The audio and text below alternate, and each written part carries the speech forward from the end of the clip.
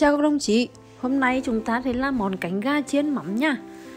Đầu tiên cánh gà nó có ba cái cành các đồng chí chặt ra Để sau ta rán cho dề ăn dề hơn, đỡ phải gầm sướng đấm vào trong mồm á. Gừng đập nhỏ, bỏ một tí mỏi vào, rồi bỏ nước nóng. Mục đích là sẽ ngấm để nó khử cái mùi tánh của cái cánh gà ấy. Xong rồi để rửa cho sạch và để ráo. Bây giờ chúng ta ướp á, hai thìa mỏi. Bỏ mỏi đừng bỏ súp nha, gà thì bỏ mỏi mới ngon. Rồi hai thìa bột nêm. Bột nêm thực dường ấy, rồi bỏ cái ớt bột Hàn Quốc đó để cho nó tào mau rồi ướp thêm một chút dầu ăn vào. Mục đích ướp dầu là để cho gà cánh gà không bị khô.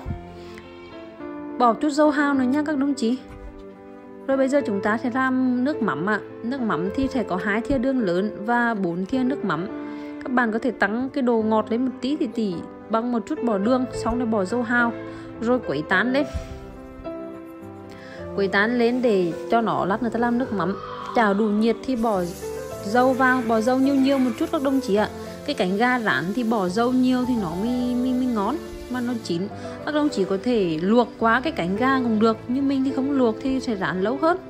Xong rồi thì múc ra và dùng cái dâu đó và đập tỏi hành tỏi cho nhỏ rồi phí cho thơm vang lên và đổ ra ta thì lấy cái dâu thôi. Còn xác tỏi thì để riêng rồi bây giờ bỏ cái nước mắm lúc này vào nhá nó sôi ung ục lên thì sôi sôi sủi bọt không? Như rửa là được rồi các đồng chí nè. rồi bây giờ chúng ta sẽ bắt đầu bỏ ga vào.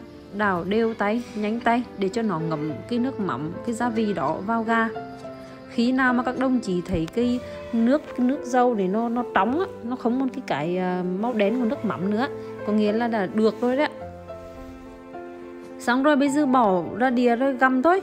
Rắc cái tỏi phí nữa lên á mời các đồng chí ăn cùng với tôi nha.